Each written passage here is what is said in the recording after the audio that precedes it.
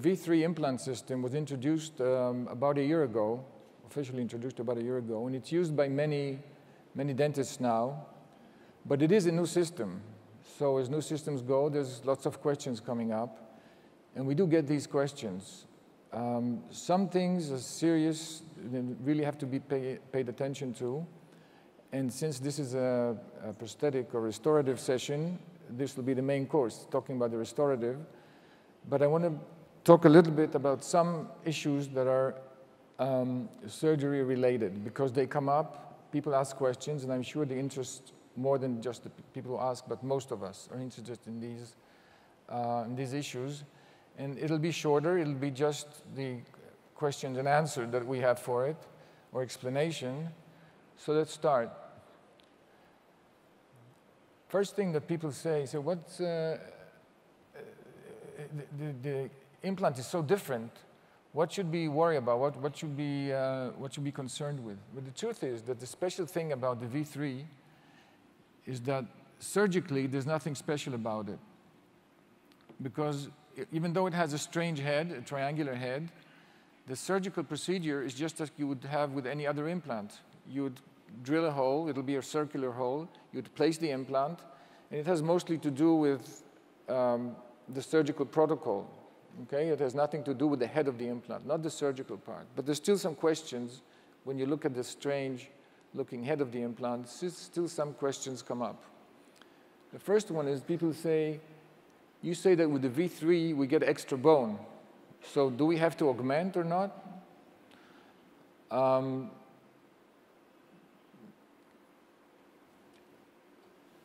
actually, augmentation has nothing to do with the shape of the implant. It has to do more with, what, with uh, your situation. And what you should do is what you always do.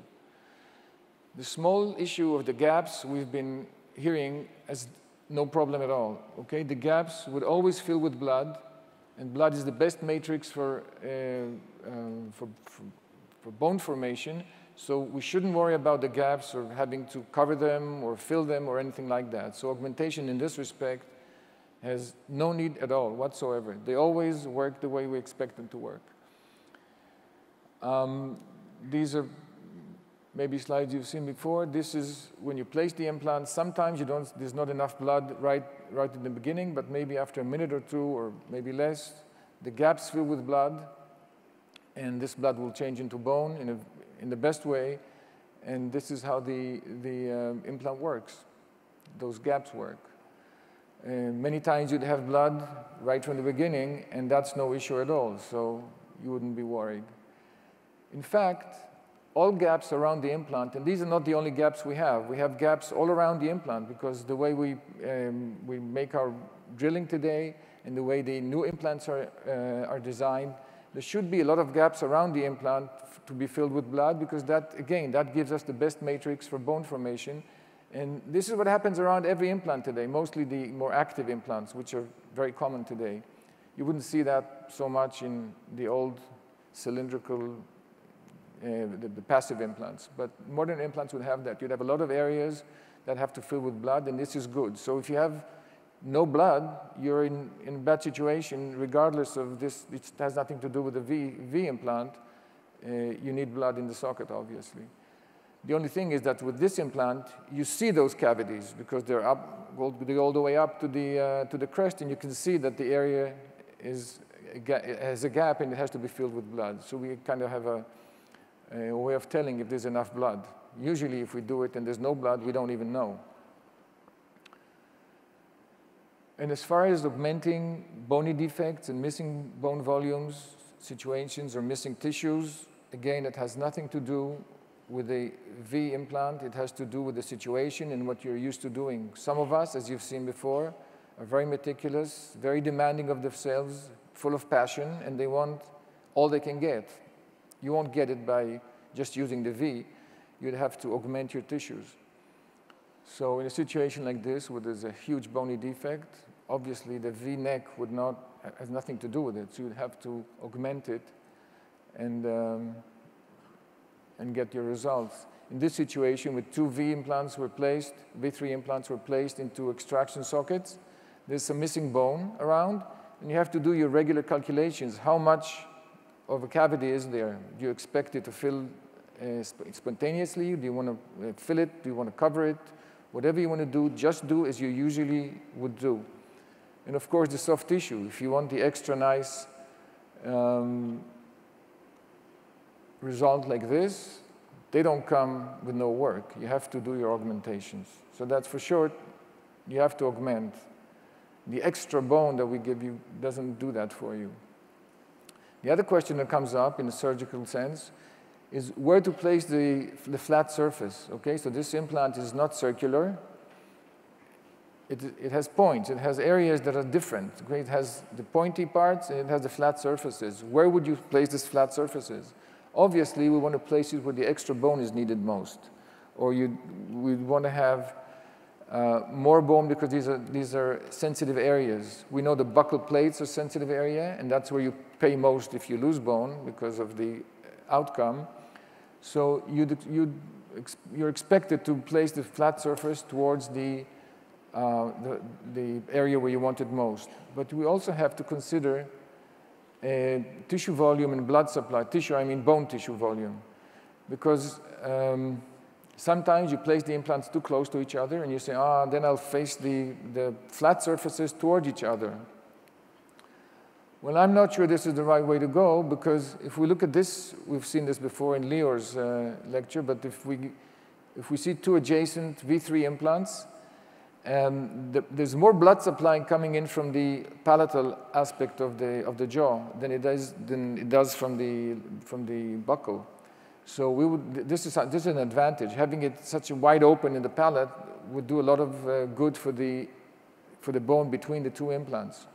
So suggesting to place the, the two flat surfaces against each other, I think we pay a dear price where we have narrower buccal bone or something impinges on the buccal bone, and you have less of a flow of blood from the aspect where there's more blood coming from the palatal.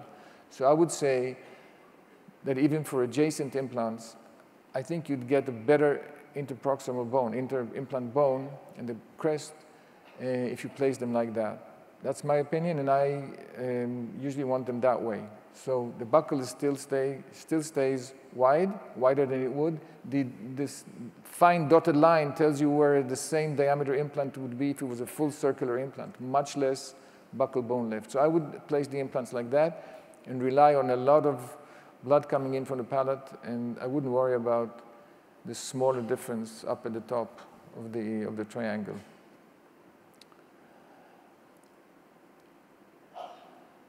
The next issue is where to place, so the, where to place the fl uh, flat surface. The answer is, for me, mostly to the buccal. Even if they're adjacent implants, I would place it mostly to the buccal because that's where it's needed most. That's where the, the plate is most vulnerable, and that's what I think should be done, even in close, close implants. But it's up to you. What is the correct depth of placement? Well, like all implants with conical connections, that are considered safe bone-wise. You don't lose bone around good, good implants with good conical connections. You hardly lose any bone from the crest. So you, you'd place such implants, and V3 is no different, at the bone level or even slightly below the bone level, and you would have no problems. So the bone would just adhere to the surface of the implant all the way to the top, and it will not change. Most of the time, it will not change. Obviously, when you place implants between two teeth where the adjacent interproximal bone is still high, it'll seem that they're very, very deep. But on the buccal, you're probably where you want to place it, which is three millimeters below the, the CEJ or whatever your technique and your uh, philosophy is. In x-rays, they would seem that they're very deep. Still, nothing would happen there in the sense that you would not lose bone. They will all look like this. So I would say the answer to that would be at or a little below the crest. Obviously, crests are no flat surfaces. You have crests having different anatomies, but you want to be, I would say the entire top of the implant would be under the crest. That's a good, that's a good rule. You won't pay any, any no damages with doing that. It always works. The last issue with surgical, uh, concerning the surgical related issues is the uh, surgical protocol and initial stability. because we get questions about that. This is a new implant. It's a new implant system. And like any new implant system, uh, there's a learning curve. And surgically, as I said before, the fact that the head is triangular doesn't have to change anything with the surgical, uh, with the surgical technique. So there's nothing special about it. The company provides us with a brochure, a manual of how to use the, the drills. It gives us a, a final drill with every, with every implant. But the, um, it also tells us that with the other implants that it gives out final drills, people use it in 20% of the cases. So I don't know if it's a good idea to provide it with every implant. If for newcomers to the systems, they think they have to use it every time because it says final drill. You, think, you would think you'd have to use it, even though they mentioned that if it's hard bone, you have to use it all the way in. If it's softer bone, which is, we don't understand what softer bone means, but it, there's a whole scale of softer bone, use it partly, okay? So they know statistically that people with other systems, statistically people have used it in 20% of the cases. Not using it right in softer bone depends on how much uh, cortical layer, how much of a cortical layer you have, what goes on under the cortical layer, is it denser, less dense, the trabecular, the trabecular bone. And I would use discretion. I, don't, I wouldn't even call it final drill. I would call it hard bone drill. So you would use it in hard bone and not use it maybe at all in soft bone, because if you have very soft bone and you have a thin cortical layer, if you have a problem penetrating the cortical layer, I would use, the company has uh, counter, countersink drills, I think. They're short and they are the, the, the right diameter to allow entrance into the cortical bone, and they don't widen the, the, the trabecular bone. So I would use that. Um, stability gained from, from the, from the uh, softer bone, from the trabecular bone, has nothing to do with the head of the implant. It has to do with the design of the threads, design of the body, the way the body shaped, and the protocol, the, the amounts of the, what drills you use, and so on. So it's like any other system. There's a learning curve. If there is a cortical layer, the triangular head anchors very well into it. Uh, if you're missing that, or it's very short, or it's um, an immediate extraction situation or some bony defect, you have to rely on, on the uh, trabecular bone. I would use your, you know, your, I would use the common sense of what you would do in any other system. Just learn the system and, and be smart about using it. There's no, nothing different about this implant. And now let's get to the main course here, which is the prosthetics. Um, I'm not going to talk about the prosthetic uh, system itself, different uh, solutions we have. I can just say it's a very comprehensive system and uh, it's a smart system. Uh, it's even maybe, as you'll see, maybe a little too comprehensive in the sense that the company is used to, uh, came from an internal hex type connection, which a lot of, or some solutions apply, and um, maybe some of the solutions, and they shifted the, all the solutions into the conical connection. That may have not been smart. You could maybe reduce and have some new, uh, some new um, solutions for the, special for the conical connections, as you will see. But the way it is now, it's a very comprehensive system, a very smart system, and uh, you can do anything you want with it. CAD cams and all the, everything. It's, it's a huge system. It's a big system for all solutions the two issues I want to address regarding the, uh, the prosthetic, the restorative phase. One is that all, all the abutments in the V3 system, they're all concave tulip-shaped abutments. We, now, we know why these are better, because they give more volume of soft tissue, so it stays there longer, it's better for the bone, and it's better for the outcome, and it's obvious now. We know that these are superior to just having bulky uh, bulky abutments coming out of the implant and through the mucosa. But a lot of people, a lot of MIS people haven't used, um, have not used concave abutments before. This is new to the company, and there's some things you should pay attention to. Obviously, if you do cemented uh, restorations one thing is the extra care you should take with the excess cement. You place your crown a little bit subgingivally. Unfortunately, sometimes it's a lot subgingivally, but some of the cement comes out the top and it's easy to clean, but a lot of the cement slides down, slides down the uh, abutment and into the area of the bone and the top of the implant, and that is very bad. So first of all, it'll be much harder to detect this kind of cement with concave abutments. They're very narrow under this white part, they're like tulips. And the other thing, it'll be very difficult to remove. So pay extra attention. There are different solutions to that. Some people make vent holes. Some people just place very little cement or whatever you do. Should be close to the gum line, not so much if you do cement it, not very deep under the gum line. Think about these things. The other thing is you have to use the right gingival height. The prosthetic height is also indicated, but it has nothing to do with this issue. Gingival height uh, is very important when you choose, when you work with concave uh, tulip-shaped abutments because you want to take advantage of the narrow area as much as you can, for as high as you can. You want to be narrow for as high as you can.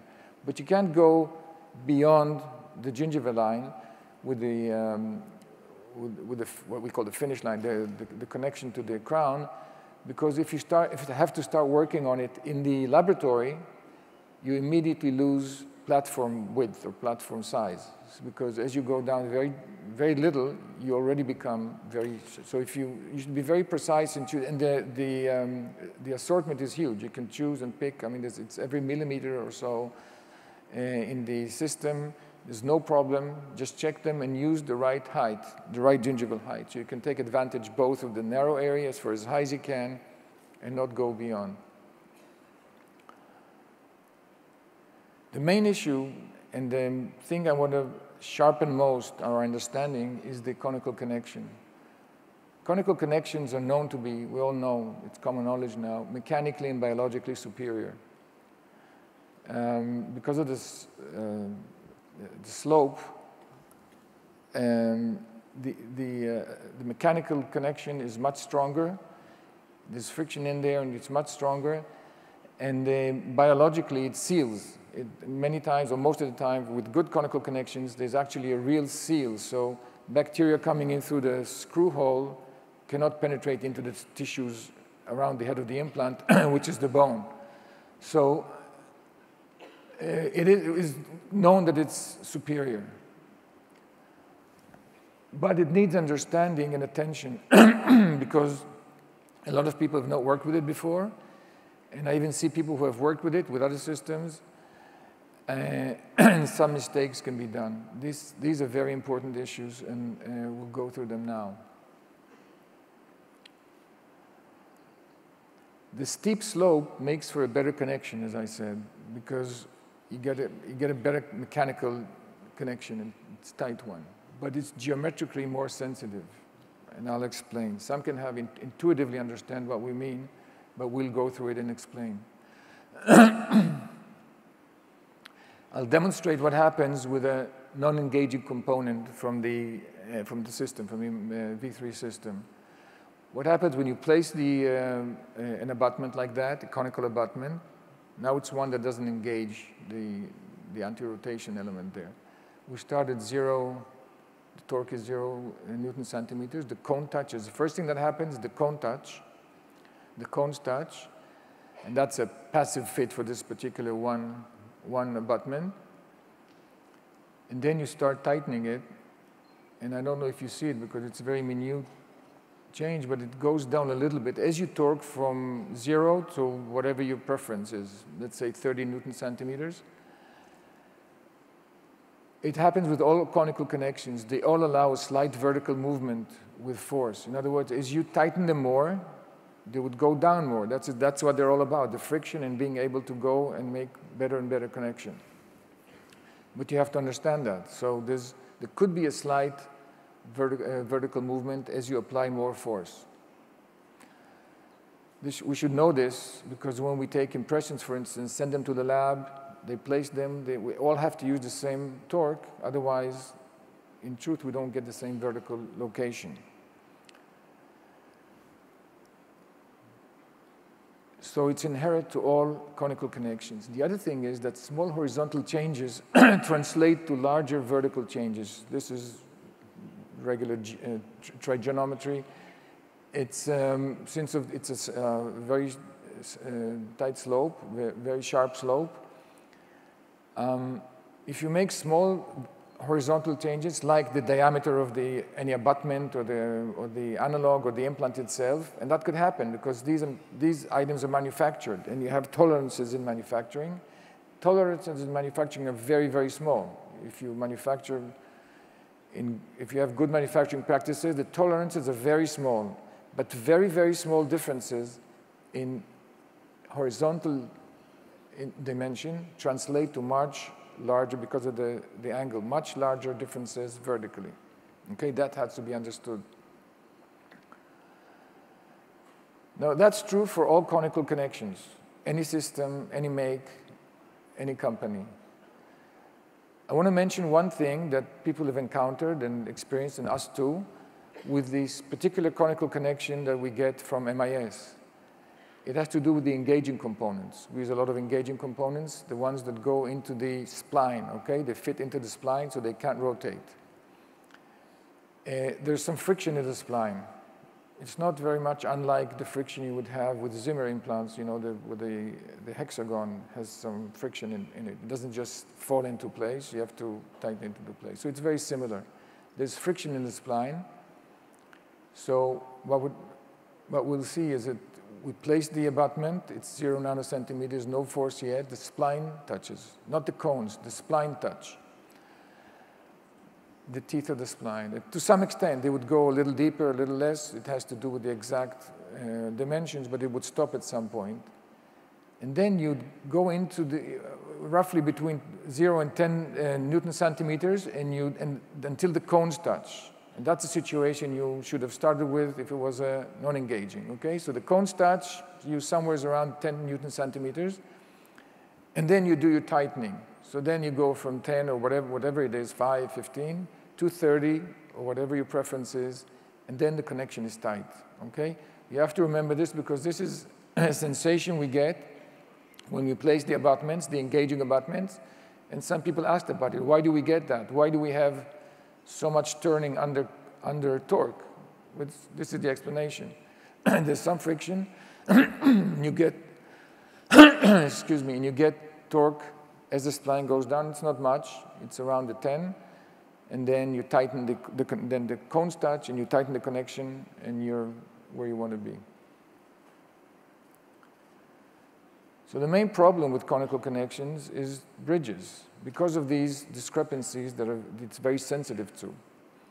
Okay, let's first talk about cement retained bridges. We all know what cement retained bridges are. You place, you take impressions at the implant level, you attach them to analogs, and you and then they go to the laboratory, they're poured, you place abutments in them, then you create a bridge over them, and if it's modern, a zirconia bridge attached to um, Ti-bases, I'm sorry, this is cemented. So you'd cement it, I mixed it up. This is cemented. You create, you place abutments, create the bridge, then it goes back to the mouth. You use different torques. So there's a screw with the impression. There's with impression in the mouth, as you take the impression with the um, abutments. Then there's a screw that you have to tighten as you go into the analogs. The analogs and the, and the implant could be a little, very slightly, hundreds of millimeter difference. Still, as I said, vertical difference would be more significant. Not much, but more significant. And then you tighten the abutments in, then you create a bridge, and then when you go back to the mouth, you probably have accumulated inaccuracy of all these steps, and it may be significant. Now, it, altogether, it may be less than what we consider accuracy in cemented uh, restorations, maybe 30, uh, uh, 30 microns or whatever. So, but it's, it's there. You should know it because you can get different res results or different look. When you look at it, it may look different in the lab and in the, uh, and in the mouth if you take x-rays. So that, that's the explanation for it. And it's true for all conical uh, systems. You, and if you do them that way, if you take implant level impressions, and you go to the lab. What we could do instead, if you place the abutments first, and some systems only allow that, some conical connection systems, other makers only allow that, you, the abutments, uh, you tighten the abutments to the implants at the final torque, you don't remove them anymore. Then you take abutment level impressions, and the analogs will be abutment analogs, and you create the bridge, and it's tight. There's no changes. There's no accumulated changes in the, in the accuracy. And then back to the mouth, you can cement it. And you don't use torques. Nothing, nothing could make any, any difference. And uh, the company actually has a huge selection of C what they call CPK. Um, it's complete prosthetic kit. And what these are abutments that you would use that way. They come as a kit, and you would use it that way. You'd place the abutment, choose the right height. As I said before, it's important to pick the right height. Choose the right height, place them in, torque them down, use the different um, parts that you have to take the impression, send it to the lab.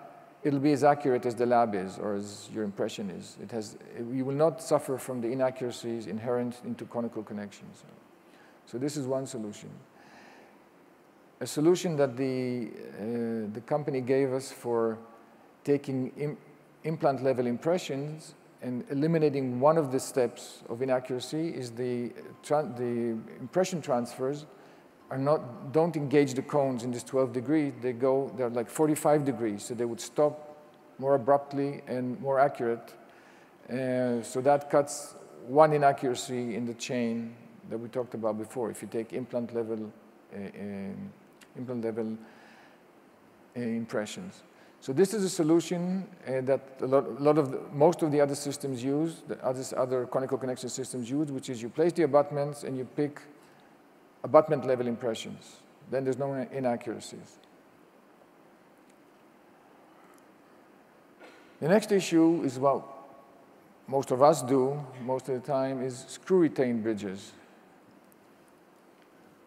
And with screw-retained bridges, we still have to remember that vertical inaccuracies are inherent to all conical connections. And many systems don't even allow what I'll show you now, but the MIS system does. Maybe since it shifted its parts from the, fr from the internal hex to this system, it has a large variety of uh, available parts that would allow some things that I urge you not to do, okay? So let's go through it. With implant level screw retained bridges, what you do is you take implant level impressions. Okay, these is a bridge, three implants. You have to attach them to, to the analogs. Again, same, same process. Screws, then you create a framework, let's say zirconia framework, and you attach, you, you bond, you cement the, the, the, tie, the Ti-bases to the framework in the lab. This is what happens most of the time. And then back to the mouth. Okay, you have the zirconia bridge. The Ti-bases are cemented to it, and you'd expect it to just fall into place. What we know is passive fit, but we know passive fit from flat connections like external hex or many times not so bad passive fits with 45 degree connections like internal hex. But it will not happen here. Because as I mentioned, small horizontal changes translate to much larger vertical changes. And this is what happened. I don't know if you can see the slight movement in the leftmost abutment. And that translates to a larger a larger vertical discrepancy, and also it touches the side of the, the side of the, uh, of, the cone, of the cone, the cone on the implant, and lateral inaccuracies are easy to force down and cause very tight stress, very high stresses, okay? Because of the slope again, it's a very steep slope, 12 degrees. It's like you would use it for raising or lifting uh, heavy loads. The, the, the the smaller the degree, the, the, the, the smaller the, the slope, or the steeper the slope, if you look at it from the other direction, um, it's easier to, to push things up, the, up, this, um, up the slope. So this is 12 degrees. It's very easy to push down, even though you have you already hit one of the sides because you have a discrepancy. You hit one of the sides, and it's easy to force it down with a screw, and this could be uh, uh, very high stresses on the side, and this could spell potential cat catastrophe. And it has happened to people with conical connections that do this, okay? They connect outside the mouth, and they put it in the mouth, and they screw it in. What you could do instead is if you really want to use this system on the implant, on the implant uh, level, you could uh, first place the abutments and torque them down to final torque, because that would change too if you don't do it right. Let's say 30. Then you cement the zirconia bridge over them. Then you remove the bridge and clean the, clean the cement, do whatever you have to do to polish the abutments and so on. And you cement it back at the same torques you did before. This is quite a lot of work, and it's not what you intended to do. The laboratory want to, wants to cement, you want the laboratory to cement the connections. You want a whole full bridge placed in the mouth, easy. So the only way that it will work and be totally passive is this way if you want to go into the connections, into the conical connections. And there's no way you can do it if you use those uh, gold plastic cylinders where you use for PFMs and you cast them outside the mouth. Okay, you take impressions, implant level impressions, you cast them outside the mouth, and then you'd expect them to fit in the, in the conical connections. They will not fit into the conical connections in what we call passive fit. It'll seem that way. By the way, it's very difficult to tell that it's not all touching and all perfect because these are slopes, and in X-rays you can't really tell.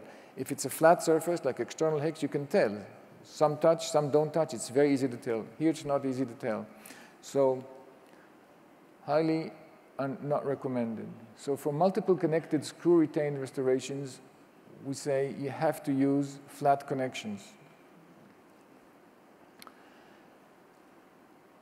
Some people, we have the multi-unit system, which we'll talk about in a second. Some people use implant, still want to use implant level systems. But for implant level systems, you have to, as we say, recommend use flat surfaces. So the, the company came up with a solution that some companies do have, and that is sit on the, on the horizontal flat surface on top of the connection. So you don't go into the connection with a cone, just some guiding part, short guiding part, it doesn't touch the cones so everything is guided into place. But the abutments, the whole system, it's uh, from taking the impressions, healing, the, healing abutments so you don't impinge the gums later, healing abutments, uh, uh, taking impressions, abutments for temps, abutments for Ti-bases, and so on, the whole system. They all rest, we call them uh, implant level screw retained bridges, with the bridge system. They all rest on the flat surface on top of the implant. So there will be no mistakes. All the mistakes, all the problems with conical connections will not happen. The system is not out now, but it'll be out very shortly, I understand. And the regular solution for using flat surfaces is the multi-unit system. It also has another advantage uh, uh, vis-a-vis -vis the, the previous one, which is you tighten into the cone. So you get all the biological advantages of conical connection. You don't remove them again. By the way, there's mostly, if you don't use the, uh, if you don't use the angulated ones, there's no screws going in. You get very narrow abutments. and the platform shifting is still there. You don't get that with the bridge components that I showed you before. But people want to use implant level bridge, they're the ones you should use. So with multi-unit uh, system, uh, multi-unit systems, it's, it's very vast in, uh, in the MIS system. Um, the, the prosthetic component is vertically 100% accurate because it's a flat surface. You cannot tighten it more. You won't go any, any further. Uh, when you place a bridge,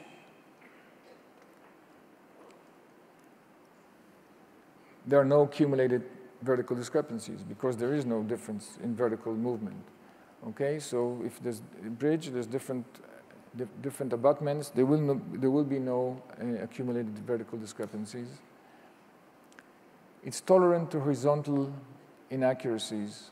Okay, if the, one of them is not totally horizontally proper because of some lab problems or any other problems, nothing will happen. It just moves on the flat surface to where it needs and there's no stresses. And uh, lateral forces don't apply. They don't damage this. There's no lateral forces.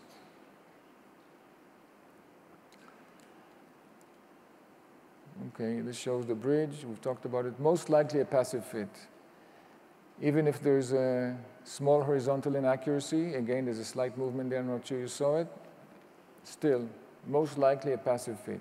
If everything else is accurate, your impression taking, the creating of the, of the bridges and so on. So we went through some surgical, surgery-related issues and prosthetic issues, and the, the message here is you have to know the system, understand it, and use your common sense. That's in the surgical, surgical part and the restorative part. And I can tell you that after four years of using the V-concept, okay, before V3, we had the V-concept implants as prototypes and so on. We've been using them for four years. Uh, they really deliver. They really do a good job. The outcome is amazing. And thank you. Thank you very much.